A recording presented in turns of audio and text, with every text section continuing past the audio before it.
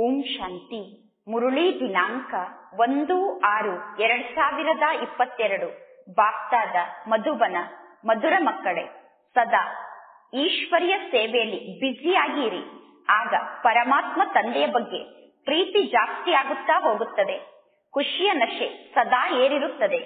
ಪ್ರಶ್ನೆ, ದೃಷ್ಟಿಯಿಂದ ಪರಿವರ್ತನೆ ಆಗುವಂತಹ ಮಕ್ಕಳ ಮನಸ್ಸಿನಲ್ಲಿ ಯಾವ ಮಾತಿನ ಖುಷಿ ಇರುತ್ತದೆ? ಉತ್ತರ ದೃಷ್ಟಿಯಿಂದ ಪರಿವರ್ತನೆ ಆಗುವ ಮಕ್ಕಳ ಮನಸ್ಸಿನಲ್ಲಿ ಸ್ವರ್ಗದ ರಾಜ್ಯಭಾಗ್ಯದ ಖುಷಿ ಇರುತ್ತದೆ. ಏಕೆಂದರೆ ಪರಮಾತ್ಮ ತಂದೆಯ ದೃಷ್ಟಿಯನ್ನು ಪ್ರಾಪ್ತಿ ಮಾಡಿಕೊಳ್ಳುವುದು ಅಂದರೆ ಆಸ್ತಿಗೆ ಅಧಿಕಾರಿ ಆಗುವುದಾಗಿದೆ. ಪರಮಾತ್ಮ ತಂದೆಯಲ್ಲೇ ಎಲ್ಲವೂ ಸಮಾವೇಶ ಆಗಿದೆ. ಪರಮಾತ್ಮ ತಂದೆಯ ದೃಷ್ಟಿ ಸಿಗುವುದು ಅಂದರೆ ತಂದೆಯ ಆಸ್ತಿಗೆ ಅಧಿಕಾರಿ ಆಗುವುದಾಗಿದೆ. ಏಕೆಂದರೆ ಪರಮಾತ್ಮ ತಂದೆಯಲ್ಲೇ ಸಂಪೂರ್ಣ ಆಸ್ತಿ ಸಮಾವೇಶ ಆಗಿದೆ. ಇನ್ನೊಂದು ಪ್ರಶ್ನೆ. ಪರಮಾತ್ಮ ತಂದೆ ಮಕ್ಕಳಿಗೆ ಪ್ರತಿದಿನ ಭಿನ್ನ ಭಿನ್ನ ವಿಧಿಯಿಂದ ಹೊಸ ಹೊಸ ಜ್ಞಾನದ ಪಾಯಿಂಟ್ ಅನ್ನು ಏಕೆ ತಿಳಿಸುತ್ತಾರೆ? ಉತ್ತರ, ಏಕೆಂದರೆ ಮಕ್ಕಳ ಅನೇಕ ಜನ್ಮದ ಮನಸ್ಸಿನ ಇಚ್ಛೆಯನ್ನು ಪರಮಾತ್ಮ ತಂದೆ ಪೂರ್ಣ ಮಾಡಬೇಕಾಗಿದೆ. ಮಕ್ಕಳೇ ಪರಮಾತ್ಮ ತಂದೆಯ ಮೂಲಕ ಹೊಸ ಹೊಸ ಜ್ಞಾನದ ಮಾತನ್ನು ಕೇಳುತ್ತೀರಾ? ಯಾವಾಗ ಮಕ್ಕಳಾದ ನೀವು ಪರಮಾತ್ಮ ತಂದೆಯ ಮೂಲಕ ಹೊಸ ಹೊಸ ಜ್ಞಾನದ ಮಾತನ್ನು ಕೇಳಿಸಿಕೊಳ್ಳುತ್ತೀರೋ, ಆಗ ಪರಮಾತ್ಮ ತಂದೆಯ ಬಗ್ಗೆ ನಿಮಗೆ ಪ್ರೀತಿ ಜಾಸ್ತಿ ಆಗುತ್ತಾ ಹೋಗುತ್ತದೆ. ಇಂದಿನ ಗೀತೆಯಾಗಿದೆ, ನೀನು ರಾತ್ರಿಯೆಲ್ಲ ಮಲಗಿ ಕಳೆದಿದ್ದೀಯ, ಹಗಲೆಲ್ಲ ಊಟ ಮಾಡಿ ಕಳೆದಿದ್ದೀಯ. ಓಂ ಶಾಂತಿ. ಈಗ ಮಕ್ಕಳಾದ ನೀವು ಪರಮಾತ್ಮ ತಂದೆಯನ್ನು ನೋಡುತ್ತಾ, ಪರಮಾತ್ಮ ತಂದೆಯ ಮೂಲಕ ದೃಷ್ಟಿಯನ್ನು ಪಡೆದುಕೊಳ್ಳುತ್ತಾ ಕುಳಿತಿದ್ದೀರಾ? ಪರಮಾತ್ಮ ತಂದೆ ಕೂಡ ಮಕ್ಕಳನ್ನು ನೋಡುತ್ತಿದ್ದಾರೆ. ಅಂದರೆ ಪರಮಾತ್ಮ ತಂದೆ ಆತ್ಮವನ್ನು ನೋಡುತ್ತಾರೆ ಮತ್ತು ಶರೀರವನ್ನು ಕೂಡ ನೋಡುತ್ತಾರೆ. ಮಕ್ಕಳಾದ ನೀವು ಕೂಡ ಪರಮಾತ್ಮ ತಂದೆಯನ್ನು ನೋಡುತ್ತಿದ್ದೀರಾ? ಪರಮಾತ್ಮ ತಂದೆಯನ್ನು ನೋಡಿದಾಗ ನಿಮಗೆ ಜಾಸ್ತಿ ಖುಷಿ ಆಗುತ್ತದೆಯೋ? ಅಥವಾ ಪರಮಾತ್ಮ ತಂದೆಯ ಮೂಲಕ ಜ್ಞಾನದ ಮಾತನ್ನು ಕೇಳಿದಾಗ ನಿಮಗೆ ಜಾಸ್ತಿ ಖುಷಿ ಆಗುತ್ತದೆಯೋ? ಏಕೆಂದರೆ ನೀವು ಬಹಳಷ್ಟು ಜ್ಞಾನವನ್ನು ಕೇಳಿದ್ದೀರಾ. ಬಹಳಷ್ಟು ಜ್ಞಾನ ಮುಂತಾದ ಮಾತನ್ನು ನೀವು ಕೇಳುತ್ತಾ ಬಂದಿದ್ದೀರಾ? ನೀವೇ ನಂಬರ್ ಒನ್ ಭಕ್ತರಾಗಿದ್ದೀರಾ? ಎಲ್ಲರಿಗಿಂತ ಜಾಸ್ತಿ ಭಕ್ತಿಯನ್ನು ನೀವೇ ಮಾಡಿದ್ದೀರಾ? ವೇದ, ಶಾಸ್ತ್ರ, ಗ್ರಂಥ, ಭಗವದ್ಗೀತೆ, ಗಾಯತ್ರಿ ಮಂತ್ರ, ಜಪ, ತಪ ಮುಂತಾದದರ ಬಗ್ಗೆ ನೀವು ಓದಿದ್ದೀರಾ ಮತ್ತು ಇಷ್ಟೆಲ್ಲಾ ಶಾಸ್ತ್ರದ ಬಗ್ಗೆ ನೀವು ಜ್ಞಾನವನ್ನು ಕೇಳಿದ್ದೀರಾ?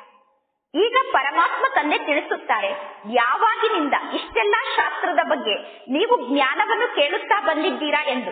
ಯಾವಾಗ ಇಷ್ಟೆಲ್ಲಾ ಶಾಸ್ತ್ರ ನಿರ್ಮಾಣ ಆಯಿತು, ಆ ಸಮಯದಿಂದ ನೀವು ಬಹಳಷ್ಟು ಶಾಸ್ತ್ರದ ಜ್ಞಾನವನ್ನು ಕೇಳಿದ್ದೀರಾ. ಇನ್ನು ಪರಮಾತ್ಮ ತಂದೆಯ ದೃಷ್ಟಿ ಈ ಸಮಯದಲ್ಲಿ ಮಾತ್ರ ನಮಗೆ ಪ್ರಾಪ್ತಿಯಾಗುತ್ತದೆ. ಈ ಸಂಗಮ ಯುಗದ ಸಮಯದಲ್ಲಿ ಮಾತ್ರ ಪರಮಾತ್ಮ ತಂದೆಯ ಮೂಲಕ ನಾವು ದೃಷ್ಟಿಯನ್ನು ಪ್ರಾಪ್ತಿ ಮಾಡಿಕೊಳ್ಳಲು ಸಾಧ್ಯ. ಪರಮಾತ್ಮ ತಂದೆಯ ದೃಷ್ಟಿಯಿಂದ ನಾವು ಪರಿವರ್ತನೆ ಆಗುತ್ತೇವೆ. ಒಂದು ಶ್ಲೋಕ ಕೂಡ ಇದೆ. ದೃಷ್ಟಿಯಿಂದ ಪರಿವರ್ತನೆ ಮಾಡಿದರು. ಸ್ವಾಮಿ ಆದಂತಹ ಸದ್ಗುರು ಎಂದು ಪರಮಾತ್ಮ ತಂದೆ ಗುರು ಕೂಡ ಆಗಿದ್ದಾರೆ. ಮತ್ತು ಪತ್ನಿಯರಾದ ನಮಗೆ ಪರಮಾತ್ಮ ಸ್ವಾಮಿ ಅಂದರೆ ಪತಿ ಕೂಡ ಆಗಿದ್ದಾರೆ. ಈಗ ನಾವು ಪರಮಾತ್ಮ ತಂದೆಯ ದೃಷ್ಟಿಯ ಸಮ್ಮುಖದಲ್ಲಿ ಕುಳಿತಿದ್ದೇವೆ ಅಂದರೆ ಪರಮಾತ್ಮ ತಂದೆಯ ಕಣ್ಣಿನ ಮುಂದೆ ನಾವು ಕುಳಿತಿದ್ದೇವೆ. ದೃಷ್ಟಿಯ ಮೂಲಕ ನಾವೀಗ ಪರಮಾತ್ಮ ತಂದೆಯನ್ನು ಅರ್ಥ ಮಾಡಿಕೊಂಡಿದ್ದೇವೆ. ಮತ್ತು ಪರಮಾತ್ಮ ತಂದೆಯ ಮೂಲಕ ನಮಗೆ ವಿಶ್ವದ ಮಾಲೀಕತನದ ಆಸ್ತಿ ಸಿಗುತ್ತದೆ ಅನ್ನುವುದು ತಂದೆಯ ಸಮ್ಮುಖದಲ್ಲಿ ಕುಳಿತಾಗ ನಮಗೆ ಗೊತ್ತಾಗುತ್ತದೆ.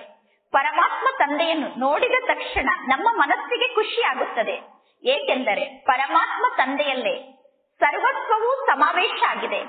ಪರಮಾತ್ಮ ತಂದೆಯನ್ನು ನೋಡಿದ ತಕ್ಷಣ ಮನಸ್ಸಿಗೆ ಖುಷಿ ಆಗುತ್ತದೆ. ಏಕೆಂದರೆ ಪರಮಾತ್ಮ ತಂದೆಯ ಮೂಲಕ ನಮಗೆ ಸರ್ವಸ್ವವೂ ಪ್ರಾಪ್ತಿಯಾಗುತ್ತದೆ. ಪರಮಾತ್ಮ ತಂದೆಯ ಮೂಲಕ ಈಗ ನಮಗೆ ಎಲ್ಲಾ ಪ್ರಾಪ್ತಿ ಸಿಗುತ್ತದೆ. ಆದ್ದರಿಂದ ಪರಮಾತ್ಮ ತಂದೆಯನ್ನು ನೋಡಿದ ತಕ್ಷಣ ನಮಗೆ ಖುಷಿ ಆಗುತ್ತದೆ ಪರಮಾತ್ಮ ತಂದೆಯಲ್ಲಿ ಸರ್ವಸ್ವವೂ ಸಮಾವೇಶ ಆಗಿದೆ. ಪರಮಾತ್ಮ ತಂದೆಯ ಸಮ್ಮುಖದಲ್ಲಿ ನಾವೀಗ ಕುಳಿತಿರುವ ಕಾರಣ ನಮ್ಮ ದೇಹಾಭಿಮಾನ ಈಗ ಸಮಾಪ್ತಿ ಆಗುತ್ತಾ ಇದೆ. ಆತ್ಮರಾದ ನಾವು ಈ ಶರೀರದ ಜೊತೆಗೆ ಈ ಸೃಷ್ಟಿ ನಾಟಕದಲ್ಲಿ ಪಾತ್ರವನ್ನು ಅಭಿನಯ ಮಾಡುತ್ತಾ ಮಾಡುತ್ತಾ ಈಗ ಪರಮಾತ್ಮ ತಂದೆಯ ಸಮ್ಮುಖದಲ್ಲಿ ಬಂದು ಕುಳಿತಿದ್ದೇವೆ. ಈ ನಾಟಕ ಚಕ್ರದಲ್ಲಿ ನಾವು ಪಾತ್ರವನ್ನು ಅಭಿನಯ ಮಾಡುತ್ತಾ ಬಂದಿದ್ದೇವೆ. ಈಗ ಪರಮಾತ್ಮ ತಂದೆ ಬಂದು ನಮ್ಮ ಸಮ್ಮುಖದಲ್ಲಿ ಕುಳಿತಿದ್ದಾರೆ. ಪರಮಾತ್ಮ ತಂದೆ, ಈಗ ನಮ್ಮ ಜೊತೆಗಿರುವ ಕಾರಣ. ತಂದೆ ಜೊತೆಗಿದ್ದಾರೆ ಎಂದು ನಮಗೆ ಖುಷಿ ಇದೆ. ಮತ್ತು ತಂದೆಯ ಮೂಲಕ ಆಸ್ತಿ ಸಿಗುತ್ತಿರುವ ಕಾರಣ ಆಸ್ತಿಯ ಖುಷಿ ಕೂಡ ಈಗ ನಮಗೆ ಇದೆ. ಲೌಕಿಕ ಜಗತ್ತಿನಲ್ಲಿ ಯಾವಾಗ ಮಕ್ಕಳು ದೊಡ್ಡವರಾಗುತ್ತಾರೋ, ಆಗ ಮಕ್ಕಳ ಬುದ್ಧಿಯಲ್ಲಿ ವಿಚಾರ ಬರುತ್ತದೆ. ನಾನು ವಕೀಲನ ಮಗ ಆಗಿದ್ದೇನೆ, ನಾನು ಇಂಜಿನಿಯರ್ನ ಮಗ ಆಗಿದ್ದೇನೆ, ನಾನು ರಾಜನ ಮಗ ಆಗಿದ್ದೇನೆ ಎಂದು. ರಾಜನ ಮಗ ಆದಂತಹ ನಾನು ರಾಜ್ಯಕ್ಕೆ ಮಾಲೀಕ ಆಗಿದ್ದೇನೆ ಎಂದು ಮಕ್ಕಳ ಬುದ್ಧಿಯಲ್ಲಿ ವಿಚಾರ ಬರುತ್ತದೆ. ಈಗ ನಿಮಗೆ ಗೊತ್ತಿದೆ, ಪರಮಾತ್ಮ ತಂದೆಯ ಮೂಲಕ ನಮಗೆ ಸ್ವರ್ಗದ ಆಸ್ತಿ ಸಿಗುತ್ತಾ ಇದೆ. ಪರಮಾತ್ಮ ತಂದೆಯನ್ನು ನೋಡಿದ ತಕ್ಷಣ ಮಕ್ಕಳಿಗೆ ಅಪಾರ ಖುಷಿಯ ಅನುಭವ ಆಗಬೇಕು. ಇದಕ್ಕೆ ಆತ್ಮಿಕ ವಾರ್ತಾಲಾಪ ಎಂದು ಕರೆಯಲಾಗುತ್ತದೆ. ಪರಮಾತ್ಮ ತಂದೆ, ಸರ್ವ ಆತ್ಮರಿಗೂ ಸರ್ವಶ್ರೇಷ್ಠ ತಂದೆಯಾಗಿದ್ದಾರೆ. ಸರ್ವ ಆತ್ಮರಿಗೂ ತಂದೆಯಾದಂತಹ ಸರ್ವಶ್ರೇಷ್ಠ ತಂದೆಯಾದಂತಹ ಪರಮಾತ್ಮ ತಂದೆ. ಈಗ ಆತ್ಮರಾದ ನಮ್ಮ ಜೊತೆಗೆ ಮಾತನಾಡುತ್ತಿದ್ದಾರೆ. ಆತ್ಮ ಈ ಶರೀರದ ಮೂಲಕ ಪರಮಾತ್ಮ ತಂದೆ ಹೇಳುವ ಮಾತನ್ನು ಕೇಳಿಸಿಕೊಳ್ಳುತ್ತಿದೆ. ಇಡೀ ಕಲ್ಪದಲ್ಲಿ ಒಂದು ಬಾರಿ ಮಾತ್ರ ಈ ರೀತಿ ಆಗುತ್ತದೆ. ಯಾವಾಗ ನಾವು ಪರಮಾತ್ಮ ತಂದೆಯನ್ನು ನೆನಪು ಮಾಡುತ್ತಾ ಕುಳಿತಿರುತ್ತೇವೋ, ಆಗ ಪರಮಾತ್ಮ ತಂದೆ ನಮ್ಮ ಸಮ್ಮುಖಕ್ಕೆ ಬರುತ್ತಾರೆ. ತಂದೆಯ ದೃಷ್ಟಿ ನಮಗೆ ಪ್ರಾಪ್ತಿಯಾಗುತ್ತದೆ ಪರಮಾತ್ಮ ತಂದೆಯ ದೃಷ್ಟಿ ನಮಗೆ ಪ್ರಾಪ್ತಿಯಾದ ತಕ್ಷಣ ಪರಮಾತ್ಮ ತಂದೆ ಇಪ್ಪತ್ತೊಂದು ಜನ್ಮಕ್ಕೋಸ್ಕರ ನಮಗೆ ಆಸ್ತಿಯನ್ನು ನೀಡುತ್ತಾರೆ. ಅಂದ ಮೇಲೆ ಮಕ್ಕಳಿಗೆ ಸದಾ ಈ ಮಾತಿನ ಸ್ಮೃತಿ ಇರಬೇಕು. ಆದರೆ ಮಕ್ಕಳು ಪರಮಾತ್ಮ ತಂದೆಯನ್ನು ಮರೆತು ಬಿಡುತ್ತೀರಾ? ನೀವು ಪರಮಾತ್ಮ ತಂದೆಯನ್ನು ಮರೆಯಬಾರದು. ಮಕ್ಕಳಾದ ನೀವು ಪರಮಾತ್ಮ ತಂದೆಯ ಸಮ್ಮುಖದಲ್ಲಿ ಇದ್ದಾಗ ಪರಮಾತ್ಮ ತಂದೆಯ ಜೊತೆಗೆ ನಾವು ಕುಳಿತಿದ್ದೇವೆ ಎಂದು ಅನುಭವ ಮಾಡುತ್ತೀರಾ? ನೀವು ಯಾವಾಗ ಪರಮಾತ್ಮ ತಂದೆಯ ಕಣ್ಣಿನ ಮುಂದೆ ಕುಳಿತಿರುತ್ತೀರೋ, ಯಾವಾಗ ನಿಮಗೆ ಪರಮಾತ್ಮ ತಂದೆಯ ಮೂಲಕ ದೃಷ್ಟಿ ಪ್ರಾಪ್ತಿಯಾಗುತ್ತಿರುತ್ತದೆಯೋ, ಆಗ ತಿಳಿದುಕೊಳ್ಳುತ್ತೀರಾ, ಪರಮಾತ್ಮ ತಂದೆ ನನ್ನ ಜೊತೆಗೇ ಕುಳಿತಿದ್ದಾರೆ ಎಂದು. ಪರಮಾತ್ಮ ತಂದೆಯನ್ನು ನೋಡಿದ ತಕ್ಷಣ ಮಕ್ಕಳಿಗೆ ಖುಷಿಯ ನಶೆ ಇರುತ್ತದೆ ಮತ್ತು ಪರಮಾತ್ಮ ತಂದೆ ಕುಳಿತು ಮಕ್ಕಳಿಗೆ ಹೊಸ ಹೊಸ ಜ್ಞಾನದ ಪಾಯಿಂಟ್ ಅನ್ನು ತಿಳಿಸುತ್ತಾರೆ. ಪರಮಾತ್ಮ ತಂದೆ ಯಾವಾಗ ಹೊಸ ಹೊಸ ಜ್ಞಾನದ ಪಾಯಿಂಟ್ ಅನ್ನು ಹೇಳುತ್ತಾರೋ, ಆಗ ಮಕ್ಕಳಿಗೆ ತಂದೆಯ ಬಗ್ಗೆ ಜಾಸ್ತಿ ಪ್ರೀತಿ ಜೋಡಣೆ ಆಗುತ್ತದೆ. ಮಕ್ಕಳಿಗೆ ತಂದೆಯ ಬಗ್ಗೆ ಜಾಸ್ತಿ ಪ್ರೀತಿ ಜಾಗೃತ ಆಗಲಿ ಎಂದು ತಂದೆ ಜ್ಞಾನದ ಹೊಸ ಹೊಸ ಪಾಯಿಂಟ್ ಅನ್ನು ಹೇಳುತ್ತಾರೆ. ಆತ್ಮರ ಮನಸ್ಸಿನ ಇಚ್ಛೆಯನ್ನು ಪೂರ್ಣ ಮಾಡುವುದಕ್ಕೋಸ್ಕರ ಪರಮಾತ್ಮ ತಂದೆ ಹೊಸ ಹೊಸ ಜ್ಞಾನದ ಪಾಯಿಂಟ್ ಅನ್ನು ಹೇಳುತ್ತಾರೆ. ಏಕೆಂದರೆ ನೀವೆಲ್ಲರೂ ಬಹಳ ಸಮಯದಿಂದ ಅಗಲಿ ನಂತರ ಪರಮಾತ್ಮ ತಂದೆಗೆ ಸಿಕ್ಕಿರುವ ಆದ್ದರಿಂದ ಪರಮಾತ್ಮ ತಂದೆ, ನಿಮ್ಮ ಮನಸ್ಸಿನ ಇಚ್ಛೆಯನ್ನು ಪೂರ್ಣ ಮಾಡುವುದಕ್ಕೋಸ್ಕರ ನಿಮಗೆ ಹೊಸ ಹೊಸ ಜ್ಞಾನದ ಪಾಯಿಂಟ್ ಅನ್ನು ಹೇಳುತ್ತಾರೆ. ಮಕ್ಕಳಾದ ನೀವು, ನಿಮ್ಮ ಜೀವನದಲ್ಲಿ ಅನೇಕ ಪ್ರಕಾರದ ದುಃಖವನ್ನು ನೋಡಿದ್ದೀರಾ? ಈಗ ಪರಮಾತ್ಮ ತಂದೆಯ ಸಮ್ಮುಖದಲ್ಲಿ ನೀವು ಕುಳಿತಿದ್ದೀರಾ? ಅಂದ ಮೇಲೆ, ಮಕ್ಕಳಾದ ನೀವು, ಪರಮಾತ್ಮ ತಂದೆಯನ್ನು ನೋಡಿ ಬಹಳಷ್ಟು ಹರ್ಷಿತರಾಗಬೇಕು ಪರಮಾತ್ಮ ತಂದೆಯ ಸಮ್ಮುಖದಲ್ಲಿ ನೀವು ಕುಳಿತಿರುವ ಕಾರಣ ಪರಮಾತ್ಮ ತಂದೆ ಕೂಡ ಮಕ್ಕಳನ್ನು ನೋಡಿ ಹರ್ಷಿತರಾಗುತ್ತಾರೆ ನೀವು ಪರಮಾತ್ಮ ತಂದೆಯ ಸಮ್ಮುಖದಲ್ಲಿ ಕುಳಿತಾಗ ತಂದೆಯನ್ನು ನೋಡಿ ಬಹಳಷ್ಟು ಹರ್ಷಿತರಾಗುತ್ತೀರಾ ತಂದೆಯ ಸಮ್ಮುಖದಲ್ಲಿ ಕುಳಿತಾಗ ತಂದೆಯನ್ನು ನೋಡಿ ನಿಮಗೆ ಬಹಳ ಖುಷಿಯಾಗುತ್ತದೆ ಪರಮಾತ್ಮ ತಂದೆಯ ಸಮ್ಮುಖದಲ್ಲಿ ಕುಳಿತಾಗ ಪರಮಾತ್ಮ ತಂದೆಯನ್ನು ನೋಡಿ ನೀವು ಬಹಳಷ್ಟು ಹರ್ಷಿತರಾಗುತ್ತೀರೋ ಅಥವಾ ಪರಮಾತ್ಮ ತಂದೆಯಿಂದ ದೂರ ಇದ್ದರೂ ಕೂಡ ನೀವು ಅಷ್ಟೇ ಖುಷಿಯಲ್ಲಿ ಅಷ್ಟೇ ಹರ್ಷಿತ ಮುಖಿಗಳಾಗಿ ಇರುತ್ತೀರೋ ಬುದ್ಧಿ ಹೇಳುತ್ತದೆ ಹೊರಗಡೆ ಜಗತ್ತಿನಲ್ಲಿ ನಾವು ಅನೇಕ ಮಾತನ್ನು ಕೇಳುತ್ತೇವೆ. ಆಗ ಬುದ್ಧಿ ಆ ಮಾತಿನ ಜೊತೆಗೆ ಜೋಡಣೆ ಆಗಿ ಬಿಡುತ್ತದೆ ಯಾವಾಗ ನಾವು ಮಧುಬನದಲ್ಲಿ ತಂದೆಯ ಸಮ್ಮುಖದಲ್ಲಿ ಕುಳಿತಿರುತ್ತೇವೋ ಮತ್ತು ತಂದೆಯ ಮೂಲಕ ಸಮ್ಮುಖದಲ್ಲಿ ಜ್ಞಾನವನ್ನು ಕೇಳುತ್ತೇವೋ ಮಧುಬನದಲ್ಲಿ ಪರಮಾತ್ಮ ತಂದೆಯ ಸಮ್ಮುಖದಲ್ಲಿ ಕುಳಿತು ಜ್ಞಾನವನ್ನು ಕೇಳುವಾಗ ಪರಮಾತ್ಮ ತಂದೆ ಪ್ರೀತಿಯಿಂದ ಮಕ್ಕಳನ್ನು ಆಕರ್ಷಣೆ ಮಾಡುತ್ತಾರೆ ನೋಡಿ ನಿಮ್ಮ ತಂದೆಯಾದ ಪರಮಾತ್ಮ ತಂದೆ ಎಷ್ಟು ಮಧುರ ಎಷ್ಟು ಪ್ರಿಯ ತಂದೆಯಾಗಿದ್ದಾರೆ ಪರಮಾತ್ಮ ತಂದೆ ಸ್ವರ್ಗಕ್ಕೆ ಹೋಗಲು ನಮ್ಮನ್ನು ಯೋಗ್ಯರನ್ನಾಗಿ ಮಾಡುತ್ತಿದ್ದಾರೆ ಮಕ್ಕಳಾದ ನೀವೇ ಸ್ವರ್ಗಕ್ಕೆ ಮಾಲೀಕರಾಗಿದ್ದೀರಿ ಈಗ ನಾಟಕದ ಅನುಸಾರ ನೀವು ಎಲ್ಲವನ್ನೂ ಕಳೆದುಕೊಂಡಿದ್ದೀರಾ ರಾಜ್ಯವನ್ನು ಕಳೆದುಕೊಳ್ಳುವುದು ಮತ್ತು ರಾಜ್ಯವನ್ನು ಪಡೆದುಕೊಳ್ಳುವುದು ಇದೇನು ದೊಡ್ಡ ಮಾತಲ್ಲ ಈ ಎಲ್ಲಾ ಜ್ಞಾನದ ಮಾತಿನ ಬಗ್ಗೆ ಈಗ ನಿಮಗೆ ಗೊತ್ತಿದೆ ಈ ಜಗತ್ತಿನಲ್ಲಿ ಕೋಟ್ಯಾಂತರ ಆತ್ಮರು ಇದ್ದಾರೆ ಆದರೆ ಕೋಟಿಯಲ್ಲಿ ಕೆಲವರು ಮಾತ್ರ ಪರಮಾತ್ಮ ತಂದೆಯನ್ನು ಅರ್ಥ ಮಾಡಿಕೊಳ್ಳುತ್ತಾರೆ. ಪರಮಾತ್ಮ ತಂದೆ ಯಾರಾಗಿದ್ದಾರೆ ಮತ್ತು ಪರಮಾತ್ಮ ತಂದೆ ಹೇಗಿದ್ದಾರೆ ಎಂದು ಕೋಟಿಯಲ್ಲಿ ಕೆಲವರು ಮಾತ್ರ ಪರಮಾತ್ಮ ತಂದೆಯನ್ನು ಅರ್ಥ ಮಾಡಿಕೊಂಡಿದ್ದಾರೆ. ಪರಮಾತ್ಮ ತಂದೆ ತಿಳಿಸುತ್ತಾರೆ, ನಾನು ಯಾರಾಗಿದ್ದೇನೆ, ನಾನು ಹೇಗಿದ್ದೇನೆ, ನನ್ನ ಮೂಲಕ ಏನು ಪ್ರಾಪ್ತಿ ಸಿಗುತ್ತದೆ ಅನ್ನುವುದು ಮಕ್ಕಳಿಗೆ ಗೊತ್ತಿದ್ದರೂ ಕೂಡ ಆಶ್ಚರ್ಯದ ಮಾತು ಅಂದರೆ, ಮಾಯೆ ಪರಮಾತ್ಮ ತಂದೆಯ ನೆನಪನ್ನು ಮರೆಸಿ ಬಿಡುತ್ತದೆ ಯಾರು ಪರಮಾತ್ಮ ತಂದೆಯ ಸಮ್ಮುಖದಲ್ಲಿ ಕುಳಿತಿದ್ದಾರೋ ಮಾಯೆ, ಅವರಿಗೆ ಪರಮಾತ್ಮ ತಂದೆಯನ್ನು ಮರೆಸಲು ಸಾಧ್ಯ ಇಲ್ಲ ಎಂದು ತಿಳಿದುಕೊಳ್ಳಬೇಡಿ. ಸಮ್ಮುಖದಲ್ಲಿ ಕುಳಿತಿರುವ ಮಕ್ಕಳ ಬುದ್ಧಿಯಿಂದ ಕೂಡ ಪರಮಾತ್ಮ ತಂದೆಯ ನೆನಪನ್ನು ಮಾಯೆ ಮರೆಸುತ್ತದೆ. ಪರಮಾತ್ಮ ತಂದೆಯ ಬಗ್ಗೆ ಸಂಪೂರ್ಣ ಪ್ರೀತಿ ಇರಬೇಕು. ಪರಮಾತ್ಮ ತಂದೆಯ ಬಗ್ಗೆ ಪ್ರೀತಿಯನ್ನು ಜಾಸ್ತಿ ಮಾಡಿಕೊಳ್ಳುವುದು ಹೇಗೆ? ತಂದೆಯ ಬಗ್ಗೆ ಪ್ರೀತಿ ಜಾಸ್ತಿ ಆಗುವುದು ಹೇಗೆ? ಪರಮಾತ್ಮ ತಂದೆಯ ಮೂಲಕ ನಾವೀಗ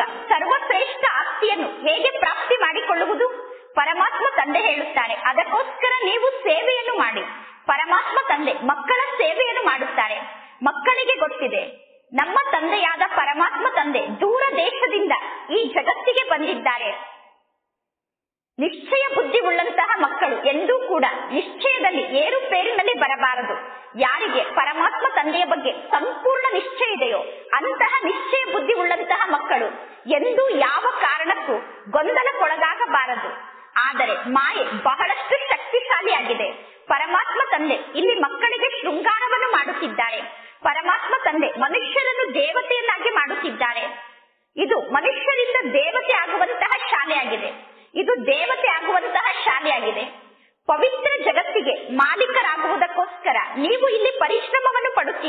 ಪರಮಾತ್ಮ ತಂದೆ ಮಕ್ಕಳಿಗೆ ಕೇವಲ ಒಂದೇ ಮಾತನ್ನು ಹೇಳುತ್ತಾರೆ. ನೀವು ತಂದೆಯಾದ ನನ್ನನ್ನು ನೆನಪು ಮಾಡಿ.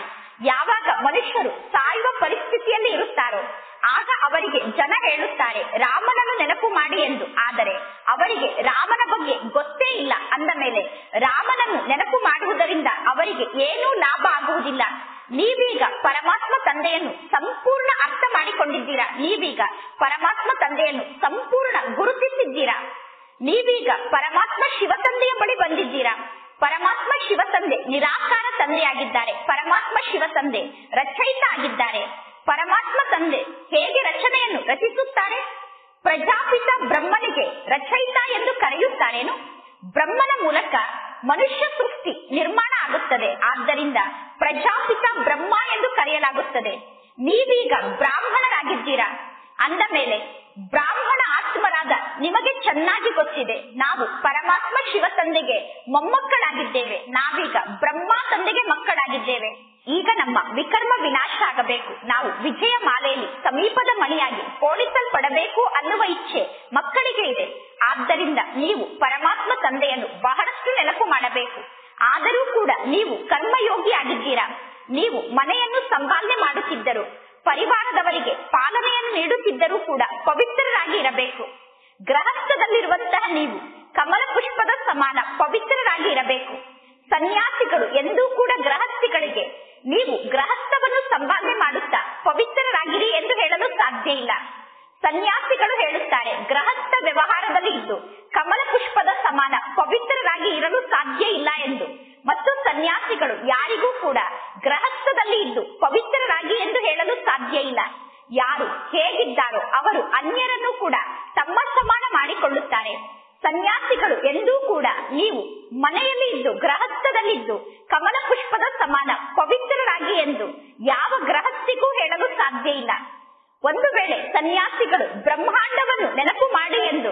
ಗೃಹಸ್ಥಿಗಳಿಗೆ ಹೇಳಿದರೂ ಕೂಡ ಗೃಹಸ್ಥಿಗಳಿಗೆ ಬ್ರಹ್ಮಾಂಡವನ್ನು ನೆನಪು ಮಾಡಲು ಸಾಧ್ಯ ಆಗುವುದಿಲ್ಲ ಆಗ ಗೃಹಸ್ಥಿಗಳು ಹೇಳುತ್ತಾರೆ ಸನ್ಯಾಸಿಗಳಾದ ನೀವು ಮನೆಯನ್ನು ಬಿಟ್ಟು ಹೋಗಿದ್ದೀರಾ ನಾವು ಹೇಗೆ ಮನೆಯನ್ನು ಬಿಡಲು ಸಾಧ್ಯ ನೀವು ಗೃಹಸ್ಥದಲ್ಲಿದ್ದು ಕಮಲ ಪುಷ್ಪದ ಸಮಾನ ಪವಿತ್ರರಾಗಿರಲು ನಿಮಗೆ ಸಾಧ್ಯ ಆಗಿಲ್ಲ ಅಂದ ಮೇಲೆ ನೀವು ಅನ್ಯರಿಗೆ ಗೃಹಸ್ಥದಲ್ಲಿ ಇದ್ದು ಕಮಲ ಪುಷ್ಪದ ಸಮಾನ ಪವಿತ್ರರಾಗಿ ಎಂದು ಹೇಗೆ ಹೇಳುತ್ತೀರಾ ಎಂದು ಒಂದು ವೇಳೆ ಸನ್ಯಾಸಿಗಳು ಪವಿತ್ರರಾಗಿ ಎಂದು ಗೃಹಸ್ಥಿಗಳಿಗೆ ಹೇಳಿದರೆ ಗೃಹಸ್ಥಿಗಳು ಸನ್ಯಾಸಿಗಳಿಗೆ ಈ ರೀತಿ ಪ್ರಶ್ನೆಯನ್ನು ಕೇಳುತ್ತಾರೆ ಸನ್ಯಾಸಿಗಳು, ಗೃಹಸ್ಥಿಗಳಿಗೆ, ಗೃಹಸ್ಥದಲ್ಲಿದ್ದು ಪವಿತ್ರರಾಗಿ ಎಂದು ಹೇಳಿದರೆ ಗೃಹಸ್ಥಿಗಳು ಸನ್ಯಾಸಿಗಳಿಗೆ ಹೇಳುತ್ತಾರೆ, ನೀವು ಪವಿತ್ರರಾಗಿ ಇರುವುದಕ್ಕೋಸ್ಕರ ಮನೆಯನ್ನು ಬಿಟ್ಟು ಹೋಗಿದ್ದೀರಾ? ಮನೆಯಲ್ಲಿ ಇದ್ದು ನಿಮಗೆ ಪವಿತ್ರರಾಗಿ ಇರಲು ಸಾಧ್ಯ ಆಗಿಲ್ಲ ಅಂದ ಮೇಲೆ ನಾವು ಗೃಹಸ್ಥದಲ್ಲಿದ್ದು ಪವಿತ್ರರಾಗಿರಲು ಹೇಗೆ ಸಾಧ್ಯ? ಎಂದು ಗೃಹಸ್ಥಿಗಳು ಸನ್ಯಾಸಿಗಳನ್ನು ಕೇಳುತ್ತಾರೆ. ಸನ್ಯಾಸಿಗಳು ಎಂದು ರಾಜಯೋಗದ ಶಿಕ್ಷಣವನ್ನು ಕಲಿಸಲು ಸಾಧ್ಯ ಇಲ್ಲ. ಪರಮಾತ್ಮ ತಂದೆ, ಈಗ ನಮಗೆ ಎಲ್ಲಾ ಧರ್ಮದ ರಹಸ್ಯವನ್ನು ತಿಳಿಸುತ್ತಿದ್ದಾರೆ. ನೀವೀಗ ಎಲ್ಲಾ ಧರ್ಮದ ರಹಸ್ಯವನ್ನು ಅರ್ಥ ಮಾಡಿಕೊಂಡಿದ್ದೀರಾ? ಪ್ರತಿಯೊಂದು ಧರ್ಮದವರು ಪುನಃ ತಮ್ಮ ಸಮಯಕ್ಕೆ ಸರಿಯಾಗಿ ಈ ಸೃಷ್ಟಿಗೆ ಬರಲೇಬೇಕು. ಈ ಕಲಿಯುಗ ಈಗ ಪುನಃ ಸತ್ಯುಗ ಆಗಲೇಬೇಕು. ಈಗ ಸತ್ಯುಗ ಅವಶ್ಯವಾಗಿ ನಿರ್ಮಾಣ ಆಗಲೇಬೇಕು. ಸತ್ಯುಗದಲ್ಲಿ ಆದಿ ಸನಾತನ ದೇವಿ ದೇವತಾ ಧರ್ಮ ಇರುತ್ತದೆ. ಸತ್ಯುಗಕ್ಕೋಸ್ಕರ ಪುನಃ ಆದಿ ಸನಾತನ ದೇವಿ ದೇವತಾ ಧರ್ಮ ಸ್ಥಾಪನೆ ಆಗಲೇಬೇಕು. ಅನ್ಯ ಧರ್ಮದ ಮನುಷ್ಯರು, ಮನುಷ್ಯರಿಂದ ದೇವತೆ ಆಗಲು ಸಾಧ್ಯ ಇಲ್ಲ. ಅನ್ಯ ಧರ್ಮದವರು ಮನುಷ್ಯರನ್ನು ದೇವತೆಯನ್ನಾಗಿ ಮಾಡಲು ಸಾಧ್ಯ ಇಲ್ಲ. ಅನ್ಯ ಧರ್ಮದವರು ಮುಕ್ತಿಗೆ ಹೋಗುತ್ತಾರೆ. ಸ್ವರ್ಗದಲ್ಲಿ ಸುಖ ಇದೆ. ಸುಖ ಸ್ವರ್ಗದಲ್ಲಿ ಮಾತ್ರ ಇದೆ. ಈಗ ನಾವು ದೇವಿ ದೇವತೆಗಳಾಗುತ್ತೇವೆ. ಆಗ ಅನ್ಯ ಧರ್ಮದವರು ಮುಕ್ತಿಗೆ ಹೋಗಲು ಸಾಧ್ಯ. ಯಾವಾಗ ನಾವು ದೇವಿ ದೇವತೆಗಳಾಗುತ್ತೇವೋ, ಆಗ ಅನ್ಯ ಧರ್ಮದವರು ಮುಕ್ತಿಗೆ ಹೋಗಲು ಸಾಧ್ಯ. ಎಲ್ಲಿಯವರೆಗೂ ನಾವು ಜೀವನ್ ಮುಕ್ತಿಯ ಧಾಮ ಆದಂತಹ ಸ್ವರ್ಗಕ್ಕೆ ಹೋಗುವುದಿಲ್ಲವೋ, ಅಲ್ಲಿಯವರೆಗೂ ಬೇರೆ ಯಾರು ಮುಕ್ತಿಗೆ ಹೋಗಲು ಸಾಧ್ಯ ಇಲ್ಲ. ಸ್ವರ್ಗ ಮತ್ತು ನರಕ ಒಟ್ಟಿಗೆ ಇರಲು ಸಾಧ್ಯ ಇಲ್ಲ. ನಾವು ಜೀವನ್ ಮುಕ್ತಿಯ ಆಸ್ತಿಯನ್ನು ಪಡೆದುಕೊಳ್ಳುತ್ತೇವೆ. ಅಂದ ಮೇಲೆ ನಾವು ಜೀವನ ಬಂಧನದಲ್ಲಿ ಸಿಕ್ಕಿ ಹಾಕಿಕೊಳ್ಳಲು ಸಾಧ್ಯ ಇಲ್ಲ. ಈಗ ಪರಮಾತ್ಮ ತಂದೆ ನಮಗೆ ಜೀವನ್ಮುಕ್ತಿ ಆಸ್ತಿಯನ್ನು ನೀಡುತ್ತಿದ್ದಾರೆ. ಪರಮಾತ್ಮ ತಂದೆಯ ಮೂಲಕ ನಾವೀಗ ಜೀವನ್ಮುಕ್ತಿ ಆಸ್ತಿಯನ್ನು ಪಡೆದುಕೊಳ್ಳುತ್ತಿದ್ದೇವೆ ಅಂದ ಮೇಲೆ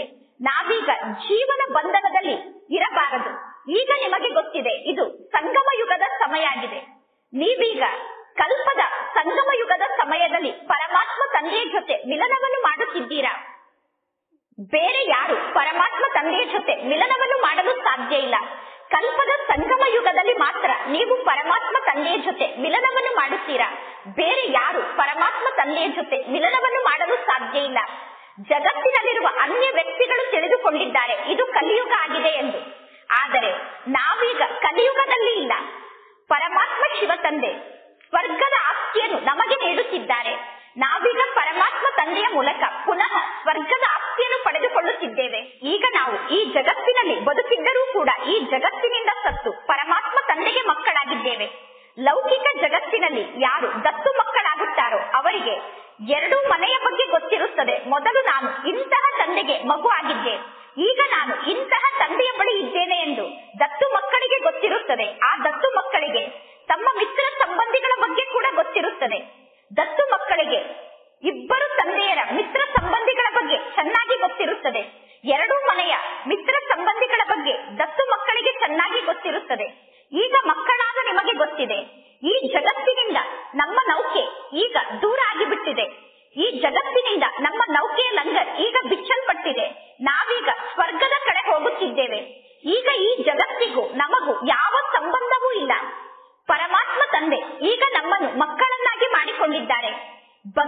ತಂದೆಗೆ ನಾವೀಗ ಮಕ್ಕಳಾಗಿದ್ದೇವೆ. ಪರಮಾತ್ಮ ತಂದೆ ತಮ್ಮ ಮಕ್ಕಳ ಜೊತೆಗೆ ಮಾತನಾಡುತ್ತಿದ್ದಾರೆ. ಅಂದರೆ ಪರಂ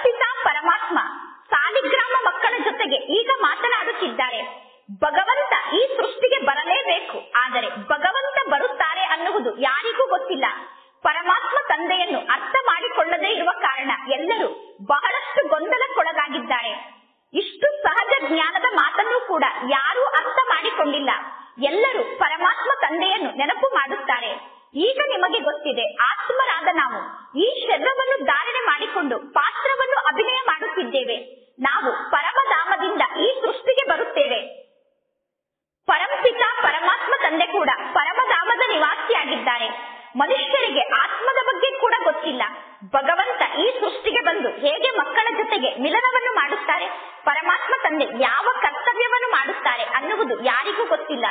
ಭಗವದ್ಗೀತೆಯಲ್ಲಿ ಸಂಪೂರ್ಣ ತಪ್ಪು ಅಕ್ಷರವನ್ನು ಬರೆದಿದ್ದಾರೆ. ಭಗವದ್ಗೀತೆಯಲ್ಲಿ ಪರಮಾತ್ಮ ತಂದೆ ಹೆಸರನ್ನು ಚೇಂಜ್ ಮಾಡಿಬಿಟ್ಟಿದ್ದಾರೆ.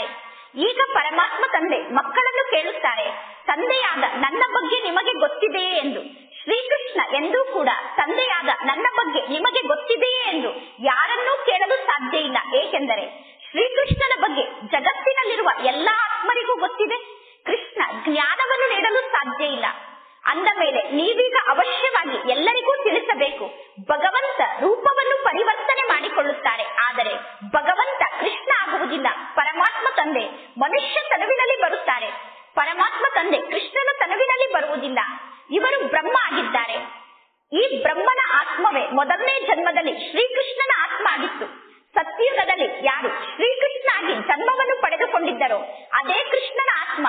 ಅಂತ್ಯದಲ್ಲಿ ಬ್ರಹ್ಮ ತಂದೆಯಾಗಿ ಜನ್ಮವನ್ನು ಪಡೆದುಕೊಳ್ಳುತ್ತಾರೆ. ಕೇವಲ ಒಂದು ಸಣ್ಣ ಮಾತಿನಲ್ಲಿ ಜನ ತಪ್ಪನ್ನು ಮಾಡಿದ್ದಾರೆ. ಶ್ರೀಕೃಷ್ಣನ ಎಂಬತ್ನಾಲ್ಕನೇ ಜನ್ಮದಲ್ಲಿ ಅವರೇ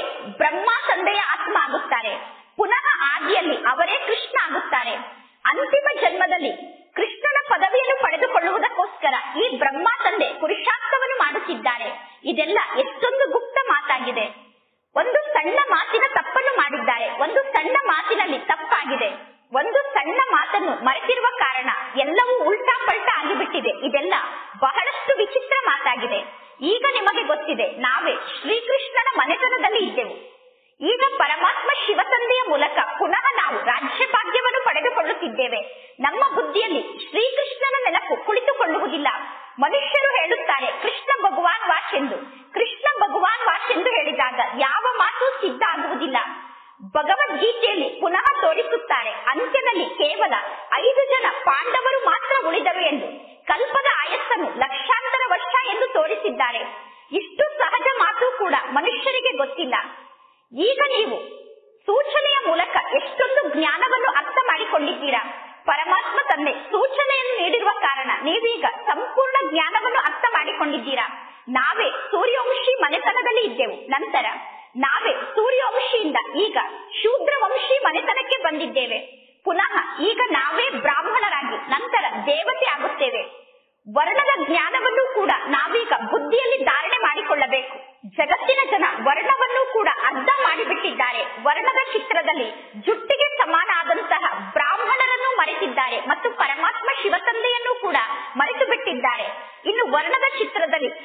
ದೇವತೆಗಳು ಕ್ಷತ್ರಿಯರು ವೈಶ್ಯರು ಮತ್ತು ಶೂದ್ರರನ್ನು ತೋರಿಸಿದ್ದಾರೆ ಅವಶ್ಯವಾಗಿ ಬ್ರಾಹ್ಮಣರಂತೂ ಬೇಕೇ ಬೇಕು ತಾನೆ. ಬ್ರಹ್ಮನ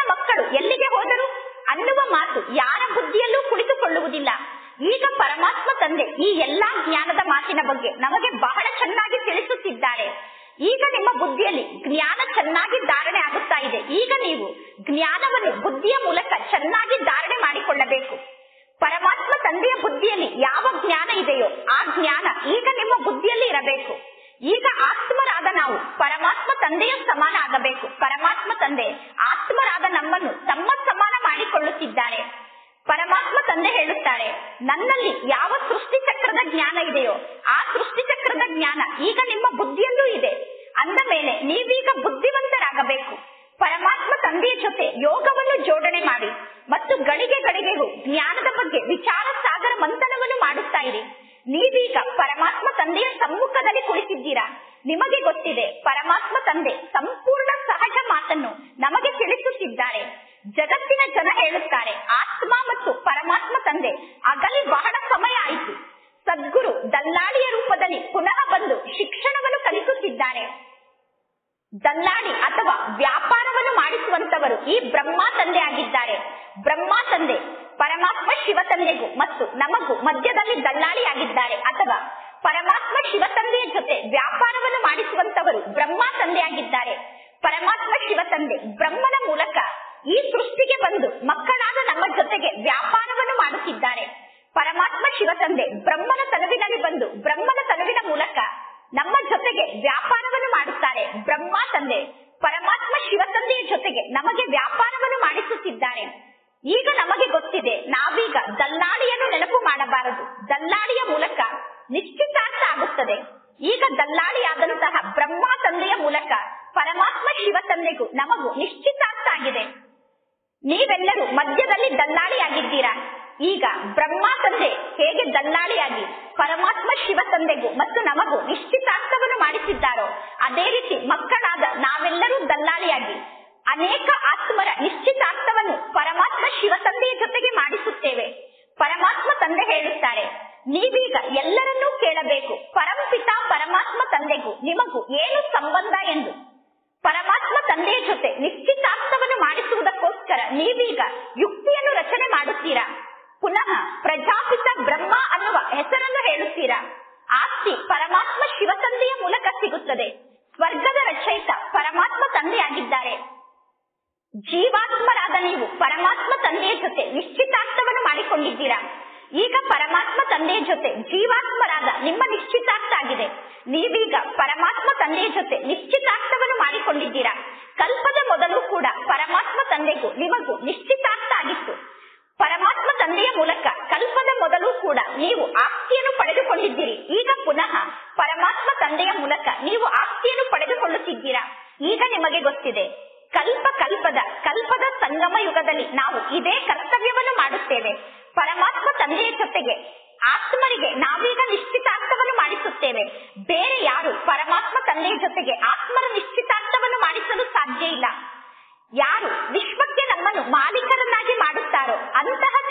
ಜೊತೆಗೆ ನಾವೀಗ ಎಲ್ಲರಿಗೂ ನಿಶ್ಚಿತಾರ್ಥವನ್ನು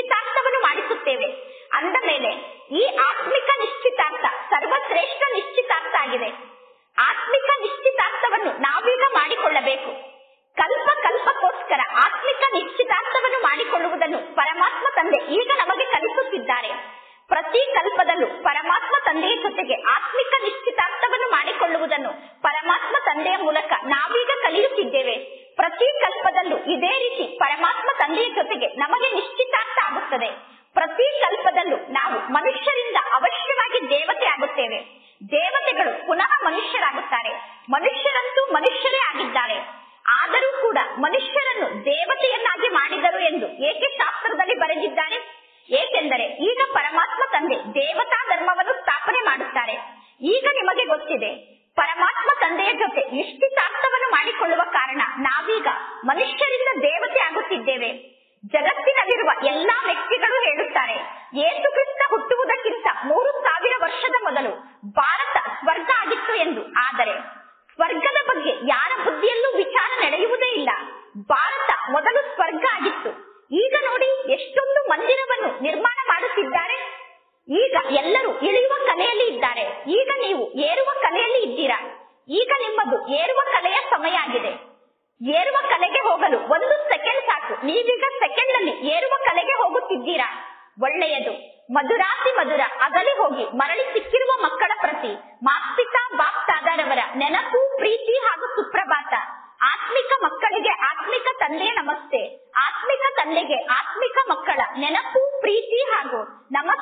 ನಮಸ್ತೆ ನಮಸ್ತೆ. ಧಾರಣೆಗೋಸ್ಕರ ಮುಖ್ಯಸ್ಥಾರ. ಫಸ್ಟ್ ಪಾಯಿಂಟ್ ಎಂದೂ ಕೂಡ ಯಾವ ಮಾತಿನಲ್ಲೂ ಗೊಂದಲಕ್ಕೊಳಗಾಗಿ ನಿಶ್ಚಯವನ್ನು ಏರುಪೇರು ಮಾಡಿಕೊಳ್ಳಬಾರದು.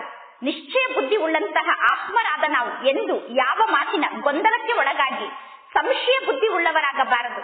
ಮನೆಯನ್ನು ಸಂಪಾಲನೆ ಮಾಡುತ್ತಿದ್ದರೂ ಕೂಡ ಕರ್ಮಯೋಗಿ ಆಗಿರಬೇಕು. ಮನೆಯವರಿಗೆ ಪಾಲನೆಯನ್ನು ಕೊಡುತ್ತಿದ್ದರೂ ಕೂಡ ಕರ್ಮಯೋಗಿ ಆಗಿರಬೇಕು. ವಿಜಯ ಮಾಲೆಯಲ್ಲಿ ಸಮೀಪದಲ್ಲಿ ಕೋಡಿಸಲ್ಪಡುವಂತಹ ಮನೆಯಾಗುವುದಕ್ಕೋಸ್ಕರ ಅವಶ್ಯವಾಗಿ ಪವಿತ್ರರಾಗಬೇಕು. ಸೆಕೆಂಡ್ ಪಾಯಿಂಟ್ ಬುದ್ಧಿವಂತರಾಗುವುದಕ್ಕೋಸ್ಕರ ಜ್ಞಾನದ, ವಿಚಾರ ಸಾಗರ ಮಂಥನವನ್ನು ಮಾಡಬೇಕು. ಸದಾ ಸೇವೆಯಲ್ಲಿ ತತ್ಪರಾಗಿರಬೇಕು. ಅನೇಕರನ್ನು ತಮ್ಮ ಸಮಾನ ಮಾಡಿಕೊಳ್ಳುವಂತಹ ಸೇವೆಯನ್ನು ಮಾಡಬೇಕು. ಇಂದಿನ ವರದಾನ ಆಗಿದೆ. ಬಾಬಾ ಅನ್ನುವ ಶಬ್ದದ ಸ್ಮೃತಿಯಿಂದ ಹದ್ದಿನ ನನ್ನತನವನ್ನು ಅರ್ಪಣೆ ಮಾಡುವಂತಹ ಬೇಹದ್ದಿನ ವೈರಾಗಿಗಳಾಗಿ ಕೆಲವು ಮಕ್ಕಳು ಹೇಳುತ್ತಾರೆ, ನನ್ನಲ್ಲಿ ಇಂಥ ಗುಣ ಇದೆ, ನನ್ನಲ್ಲಿ ಇಷ್ಟು ಇದೆ. ಇದು ನನ್ನ ಗುಣ ಆಗಿದೆ. ಇದು ನನ್ನ ಶಕ್ತಿಯಾಗಿದೆ ಎಂದು. ಇದು ನನ್ನ ಗುಣ. ಇದು ನನ್ನ